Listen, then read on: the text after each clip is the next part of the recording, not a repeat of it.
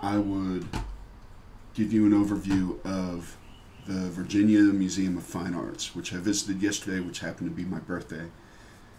It was a lot of fun, and I thought that I might just go through the photos that I took and give you some explanations of what I saw. So this is the first thing that I see when I walk out of the uh, parking garage. It's the Robinson House. And I've never actually been inside because I'm usually so excited to get into the uh, museum, but it is some stunning architecture. I really love some of the details on it. Here's the path to the museum itself. You can see it in the distance there. It's the uh, well designed and uh, clear path from the parking garage to the museum. There's some uh, brand new uh, installations of plants throughout the campus there, and I captured some of those. Art in its own right. This apparently is a crepe myrtle, which I was amazed by because I've never seen one so big.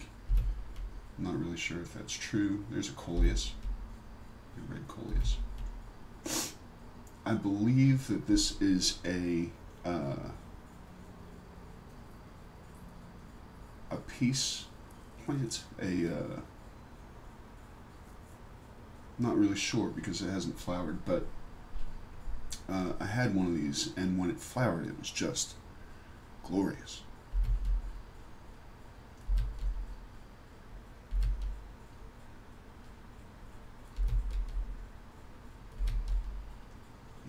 Some beautiful stuff on site there. This is the uh, one of the pieces that I visit all the time uh, when um, going into the museum. It's just to the left of the doors, and it is called Untitled by Jun Kaneko and it reminds me a lot of Jasper Johns, those stripes. Just a beautiful piece. Here's the front view of the Robinson House. This is a little gathering space inside the main uh, lobby, and I just love these chairs. I thought they were very Kubrickian, very uh, 2001. And of course, there's these huge uh, murals in lots of places. Over by the Best Cafe, this is the view through the window over to the Daughters of the American Revolution. I'm not really sure what that building is over there, but uh, I think it may be a functional office building. I'm not really sure.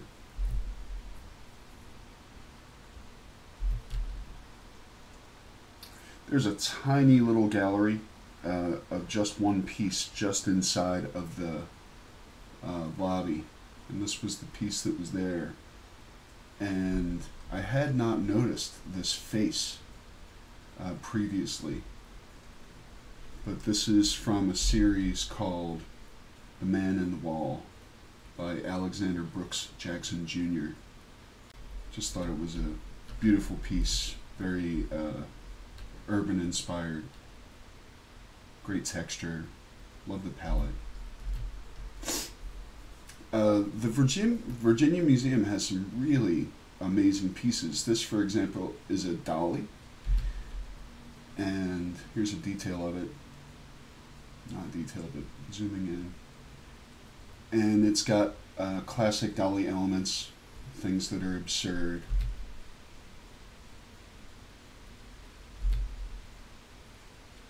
and that's called The God of the Bay of Roses. Definitely a surreal piece. This is uh, Ernst Ludwig Kirchner, and it's called Sand Hills near Grinnell. And I just really love the palette of it. I thought that the palette was great. Reminded me of uh, Monet's Haystacks somehow. Big, beautiful trees around campus. They take very good care of the grounds. Sculptures. This is uh, facing out the front of the museum that goes along Arthur Ashe Boulevard. And yeah, just a beautiful campus. The trees are immense there.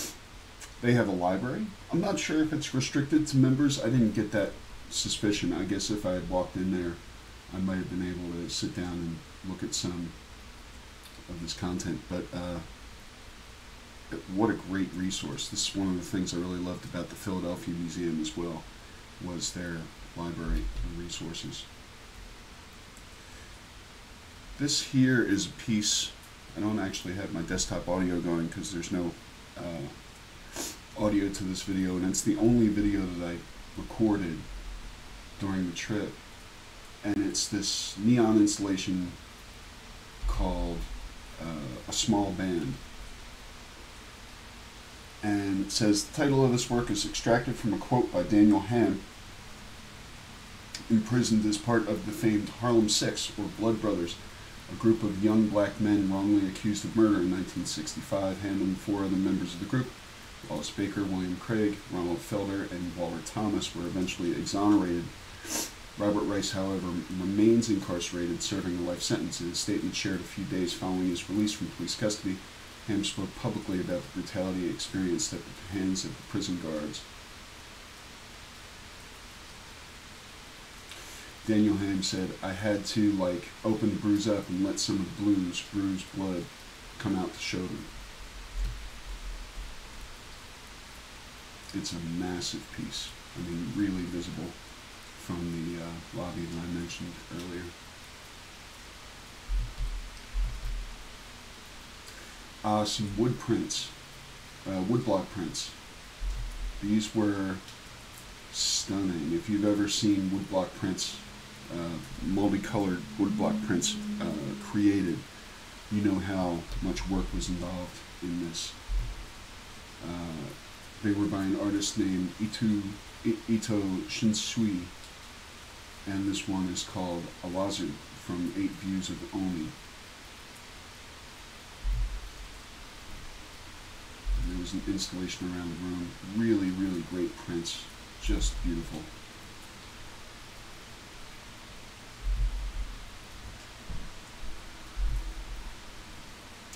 Of course, they have antiquities in this museum, like many museums, and uh, stunning samples. Really great stuff. This was a Greek piece, a black figure, amphora, and lid. This, of all people, is Caligula. If you've ever seen the movie, you know what he was up to. Uh, just a stunning piece to be in front of, and the way that it is presented is uh, beautiful. Uh, certainly larger than life, even though it's life sized. Uh, I'm really glad that I'm able to see this piece so often. They also, right behind this, have this mosaic, which I was really inspired by. I did a, a mosaic not too long ago, a couple years ago, and the work involved is uh, incredible. It's really fun to try to figure out how to represent something in tiles.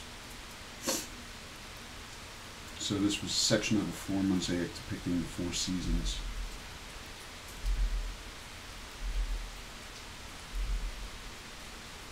Beautifully done. Really great stuff. They have several uh, Eastern rooms, uh, Chinese artifacts and Korean artifacts, and of course, very often you'll encounter Buddhist uh, statues, bodhisattvas. Here's Kannon.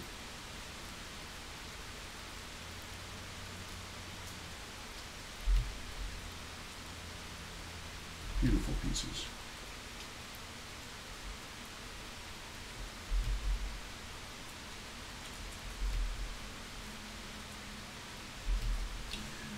This was Damo founder of Zen Buddhism. Atop waves. It's hard to capture the elegance or the presence of these pieces. It's it's uh, it's just a small thing. It's probably eight inches or ten inches tall, but it's just overpowering in its presence.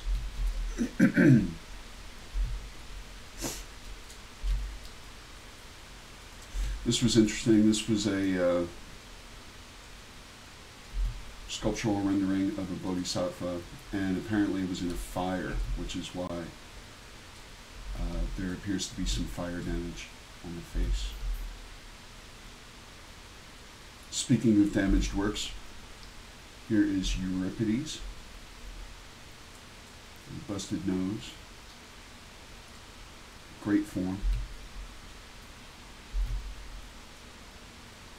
Another view from the uh, second level of the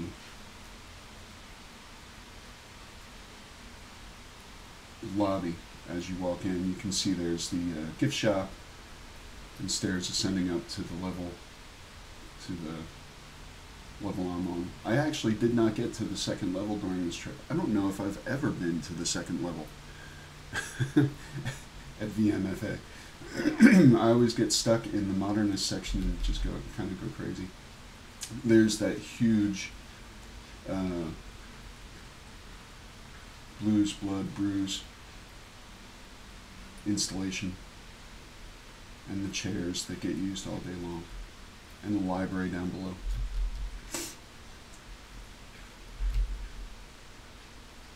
First century BCE, a Roman head of a herm.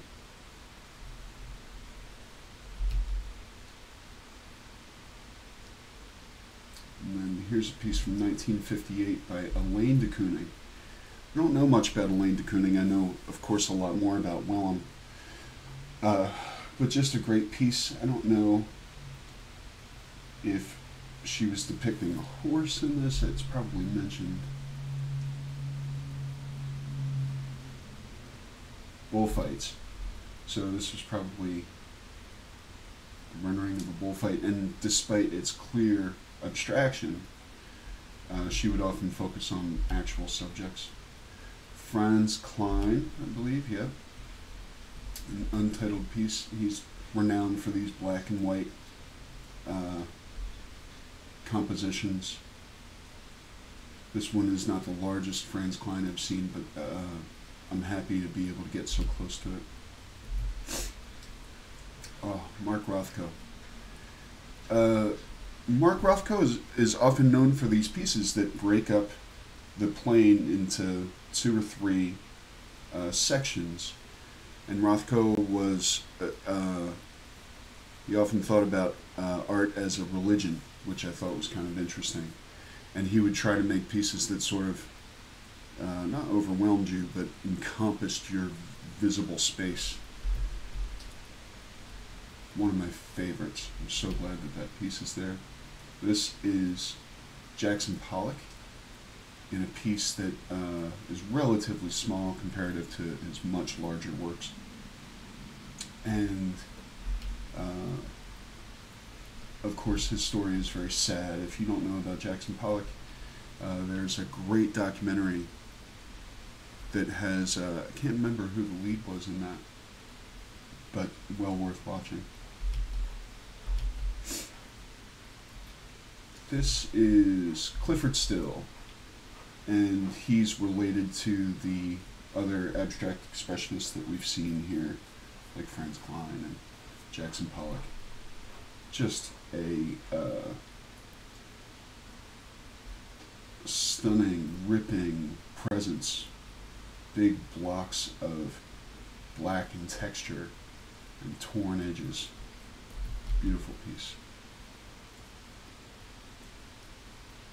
He says, the sublime, a paramount consideration in my studies and work from my earliest student days. This is more recent work, 2019, and Their Homes, The Dreams of Home Unraveled by Shinique Smith. Has actual uh, fabric bandanas worked into the piece and coming out of the piece. Tried to capture the three-dimensional element of it. Oh, these were these large pieces. When I first saw them, I thought that they were um, a German artist who does these huge canvases, often depicting Germany after the war. But this was not that artist. Uh, but very, very similar. This is actually moss that's been worked into the canvas. Uh, Athena LaTocha, 2019, shellac ink, Mississippi River mud, and Spanish moss on paper. Huge pieces. Well worth seeing. One of my favorites in the museum is this piece by Robert Arneson called General Best. And he says, I want to make high art that is funny, outrageous, and also reveals the human condition, which is not always high. General Best portrays Sidney Lewis, who with his wife Frances gave VMFA their extraordinary art collection in 1985, which now comprises the majority of the works on view in the museum's mid to late 20th century galleries and beyond. Arneson's artistic style perfectly complemented Lewis's own humorous spirit, and Arneson covered the work with witty references to the business Lewis founded in Richmond in 1957, Best Products. So uh, it's so funny I grew up in Oxford Valley. I'm sorry, I grew up in Bensalem, Pennsylvania. And there was a mall there called the Oxford Valley Mall. And nearby the Oxford Valley Mall, there was a Best store, uh, which eventually I think was Best in Basco. But at any rate, the building there was covered in flowered tiles. The, the entire building was covered in flowered tiles. And uh, the artist whose name escapes me, one of those tiles from that artist is in the Virginia Museum of Fine Art near the uh, near the Best Cafe. So it's incredibly interesting uh, that I've come so far away from that place, but still have that very deep connection to this memory set of memories that I have of visiting Best at Oxford Valley Mall. And here's Best himself. Cool stuff.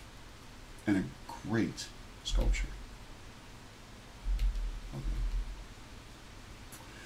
As we continue through uh, modern and uh, contemporary art, you get pieces like this where I should have gotten gotten the detail, but it's essentially just uh, glazed, fired and glazed ceramic wired with baling wire and a, on a painted steel armature. Whoops. Uh, it's hard to describe how what an impact this piece has when you walk up to it. Red Rover. More great work. Trenton Doyle Hancock the former and the latter, or Ascension and Ascension, in 2012. Colorful, textural, whimsical, one of my favorite pieces in the museum.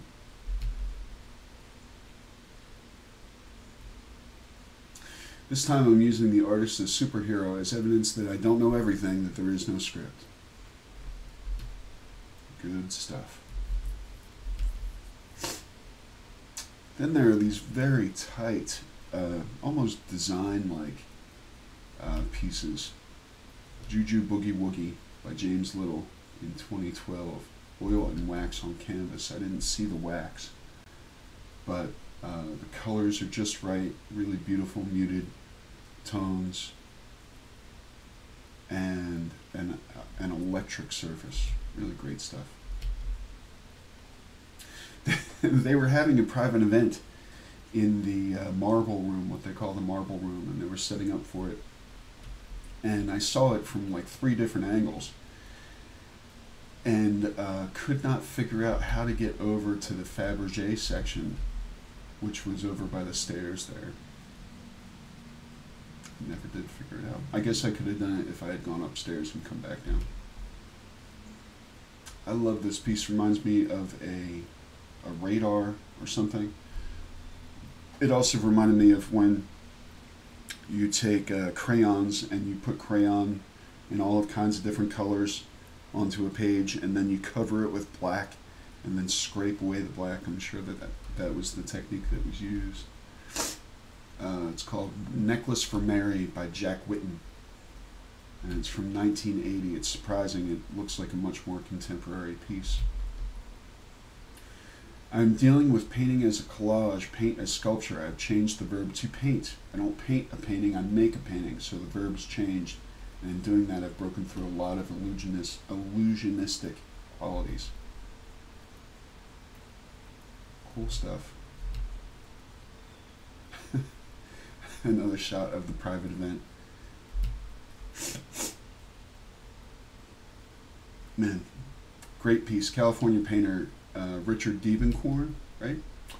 Ocean Park number 22. He was uh, renowned for doing these top down views of the, um, the landscapes of California, but instead of looking out at the horizon, looking down on the map of things. And uh, beautiful color fields, changing colors, the palettes were beautiful probably based on the, the reality of what he saw wheat and grass and water. Temperamentally, I have always been a landscape painter. You tell him, Rich. Oh, and then we come into this area where these the there are these uh, hyper realistic, photorealistic pieces. Uh, Robert Cottingham in 1973 made Optic, and it's it is vibrant on the canvas and uh, really electric in the way that it vibrates on that canvas. Just an incredible attention to detail. And many other pieces in this particular gallery were like that. Super photo photorealistic and uh, well worth visiting.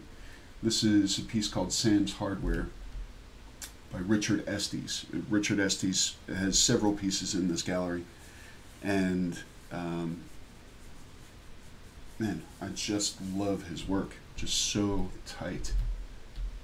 Here's another one by Richard Estes called Danbury in the series Urban Landscapes. This was in 1972 as well. I hadn't even been born yet maybe my favorite piece at the museum by Richard Estes. This is Paris Street Scene. Richard says, I always like to think that the paintings look very realistic, but the subjects don't actually exist in this way. It's a selection, taking a few elements of reality of the visual elements, never mind the noise, the smell, the actual dimensions. Yeah, it's very clean, incredibly clean, uh, and yet photorealistic captures every detail. Really great stuff.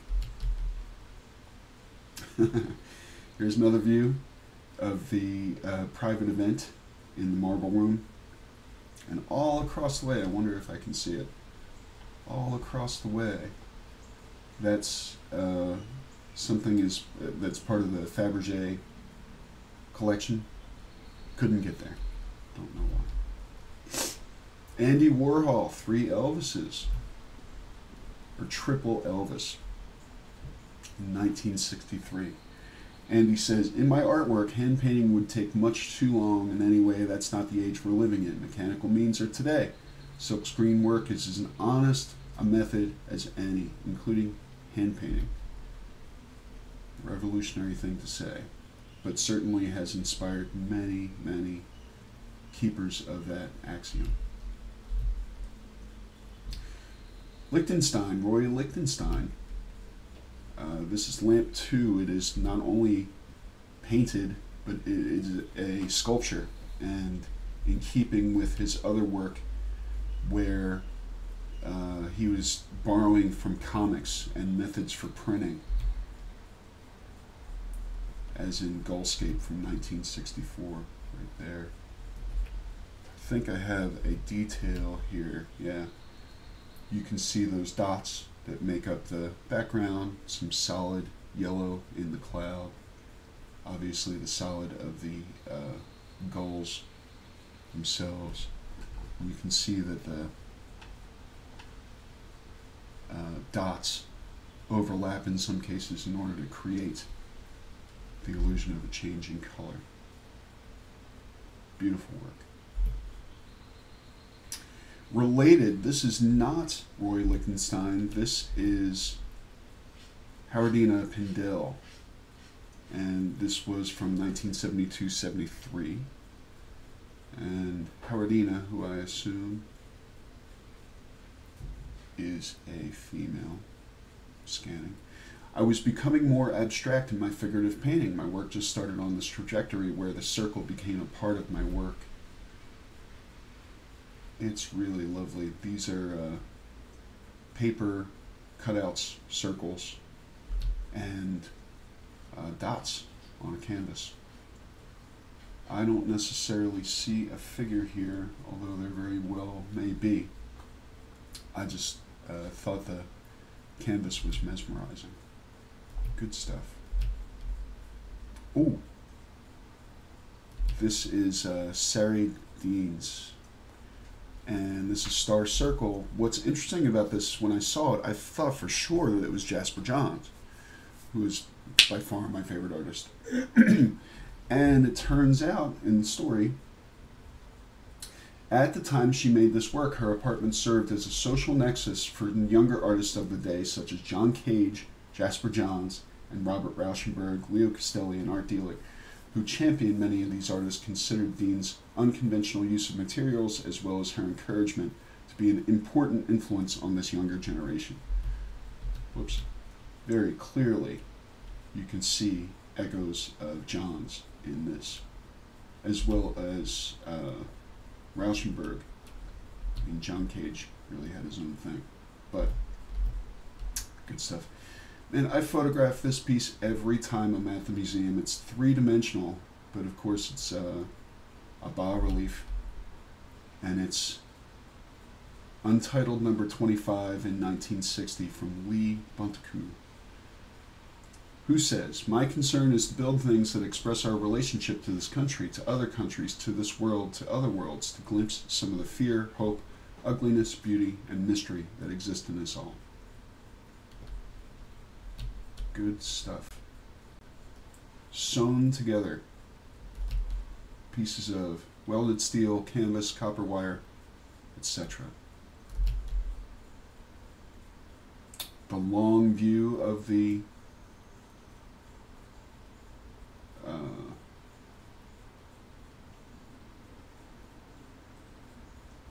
gathering space on the first level of the museum.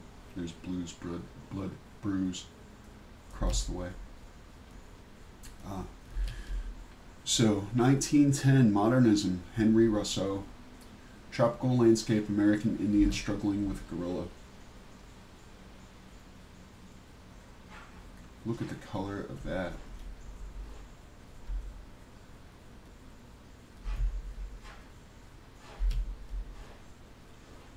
They have Picasso in the museum. They have uh, several pieces. I counted.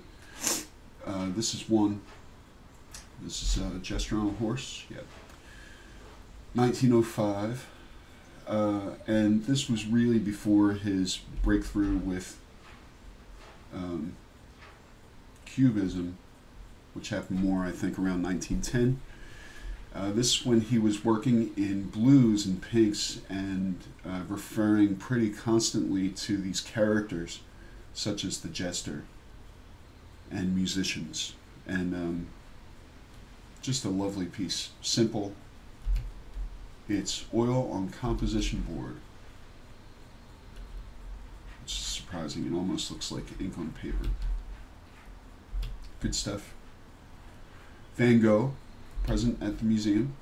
I tried to get a, a three quarter view to try to capture some of the impasto that Van Gogh is famous for. I don't know that I successfully did. This was Daisies in Arles in 1888. Beautiful piece, maybe not as iconic as some of his others. Wow, this muted landscape is by Seurat. Uh, Houses and Garden, circa 1882. Uh, you definitely, if you're familiar with Seurat's, Seurat's work, uh, you're familiar with the way that he uh, more or less drove uh, pointillism, where uh, points of color were added and building up a canvas in order to render a scene as the eye might see it.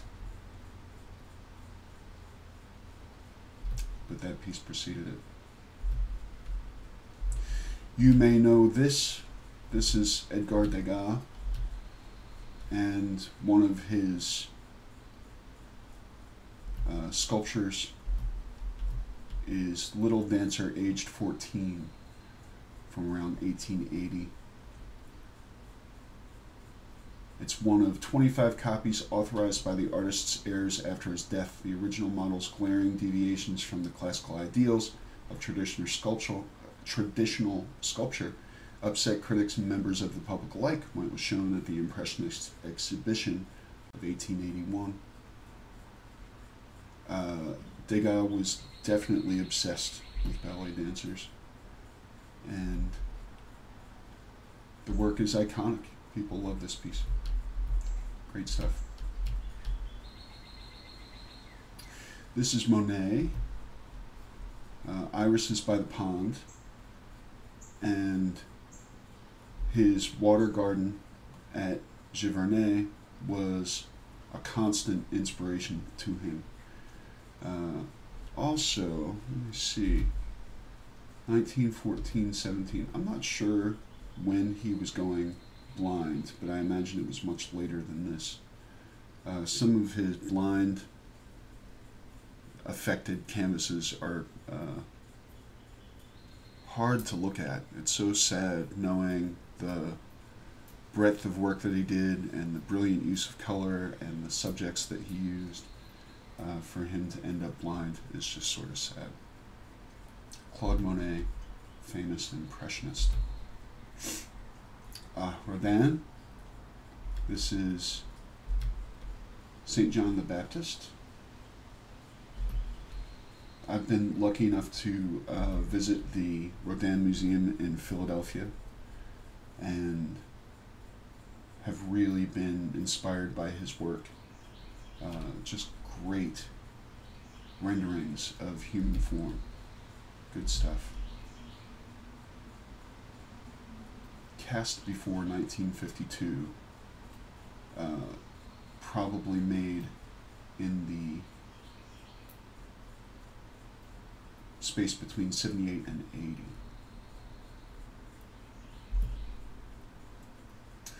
This is a room that's set up the Worsham Rockefeller bedroom, and it is decadent.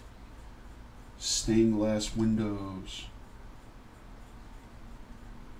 stained glass light fixtures, lacquered furniture, plush rugs. Just a beautiful space.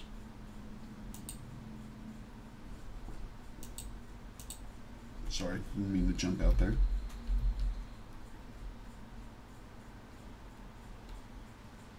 This is George Washington. Uh, they don't know who made it.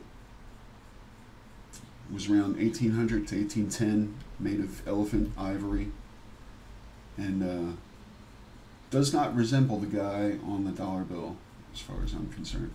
But uh, probably a more likely resemblance. I don't really know. Good stuff. Ben Franklin. Great rendering.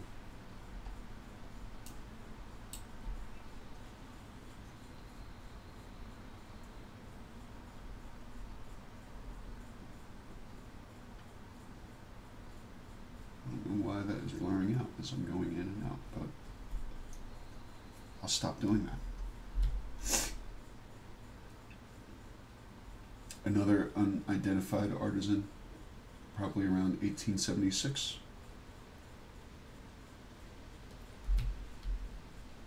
Hey, there's me, in looking into a mirror, trying to photograph the outside frame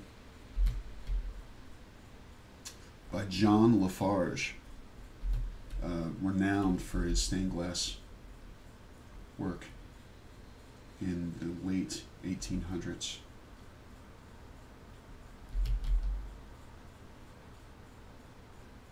This painting moved me. This was uh, Moonlight in Yosemite. Really captures the way that light falls when it's very, very bright, like a full moon. Good stuff. That is Albert Bierstadt. Here's another space in the museum where you can sit in front of the Richardson House. Richardson House. Uh, and look out on the goings on on campus. Andrew Wyeth? Yeah. So, Andrew Wyeth did these beautiful renderings of people and spaces, and uh, something about Wyeth's work is just touching. It's um, remarkable in the way that he pulls out details and makes them available to you to really know what that space or that person was like. A Norman Rockwell lives in the Virginia, Virginia Museum of Fine Arts. So I'm sure that this was a magazine cover at some point, but beautiful piece. Norman Rockwell produced more than 800 illustrations for several canonical American periodicals, most famously the Saturday Evening Post, and numerous corporate clients, including the Franklin Mint, which commissioned the collector as part of a group of works that could also be issued as plates. Cropped at left, the bust of Benjamin Franklin pays homage to the corporate patron, and the coins and ingots in the painting were in fact marketed by the Franklin Mint. Whoops. Let's go back to that for a second. How about that?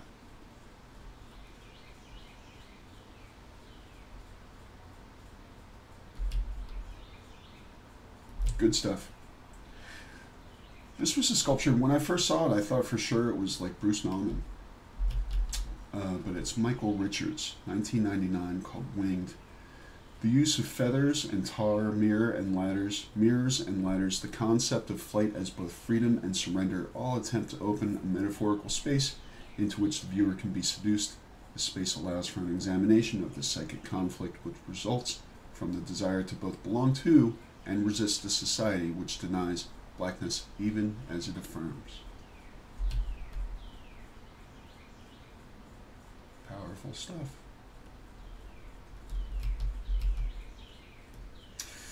I've seen this piece a couple times now. I'm fascinated by it. Uh, it inspires me to want to build something like this. There's a four walled space with a ceiling. Ceiling is covered in photos, backlit photos. there are uh, small pieces that are set into the cubbies all throughout and the material is just scrap material. It's just vernacular stuff that was lying around. I don't think it's been specifically distressed. I think it was probably distressed anyway. These lovely teacups on one of the corners. You can see there's plywood being used and linoleum tiles right there. Glass lantern slide pavilion made from reclaimed wood, linoleum tile, carpet, fire hose, wire, metal, four ceramic teacups, 254 glass lantern slides, and an LED light.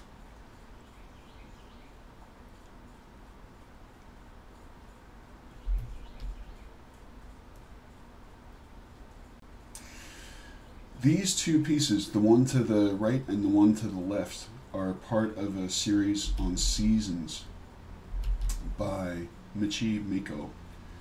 This is the season summer. You can see the influence of things like uh, what appear to be lightning bugs. And then here is winter.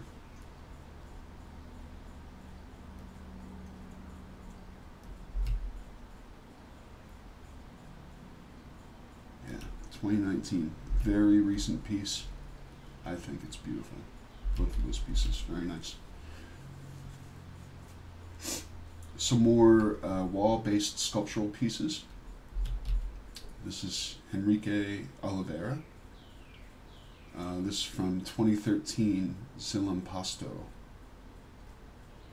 And it says plywood and pigment. I'm trying to figure out how this is plywood. Not really sure, but a stunning piece nonetheless. Another contemporary piece. This is from 2004, Stadia 3 by Julie Mehretu. I'm interested in describing this as a system, a whole cosmos, and that is the overall painting, while the little minute detail marks act more like characters, individual stories. Each mark has agency in that sense, individual agency. So, I should have gotten some details, but there's all kinds of things going on in here. beautiful, spacious. The lines really draw you in and around. Love that piece.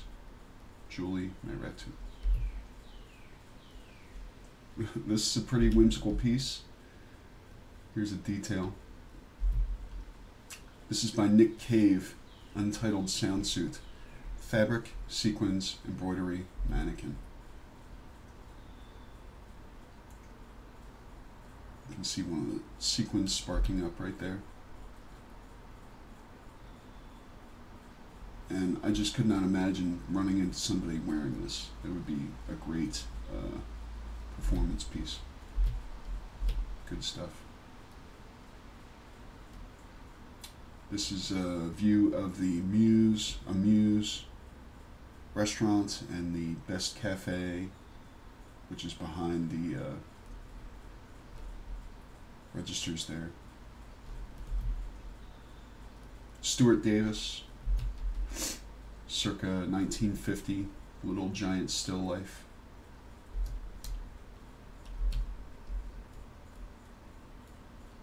Just powerful work.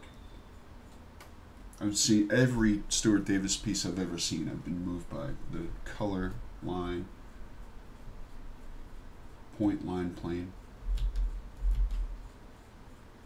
Alexander Calder, one of his famous mobiles. Right there, 1951.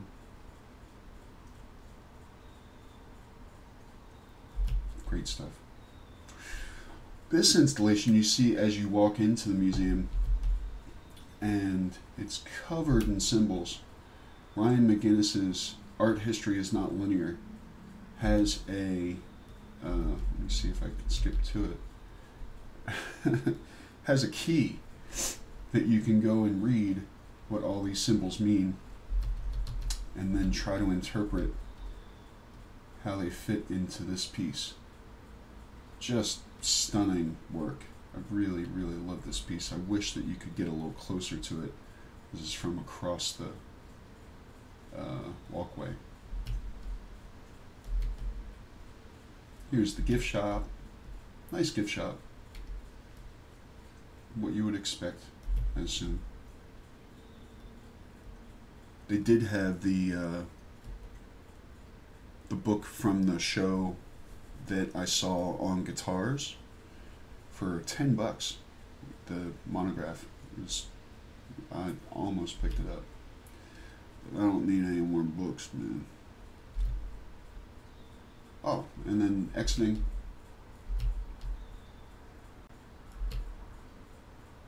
It had started raining pretty heavily by the time I exited the museum.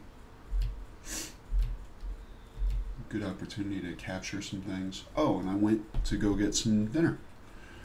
Here's a uh, common pair I ran into as I was walking along. Streets of Richmond are a lot of fun to walk. Uh, this place is, let me find the.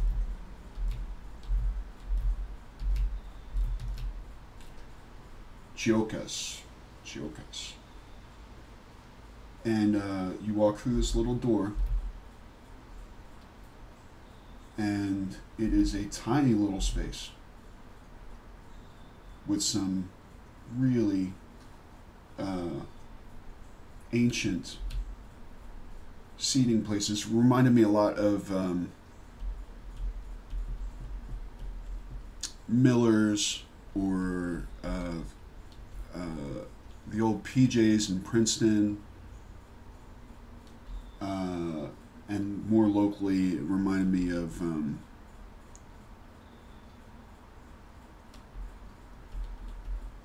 I don't know, just a few of the bars that haven't updated, or restaurants that haven't updated their furniture in a while, and everything gets sort of a patina of legitimacy. This place has legitimacy. I tried the American Wheat by Bill's while I was there, and had this amazing sandwich. They call this the Sailor. And it had spicy mustard, pastrami, Swiss, and um, bratwurst. Comes with chips, comes on rye, comes with pickles. Delicious stuff. Very good mouthful. This was the booth I was in. See some of the flavor of the place. There were some locals there. They were having a good time. The service was great. Had fun conversations with the uh, wait staff. Oh, nice beer list there, if you care. Let's see what happened after that. I got up, took some photos.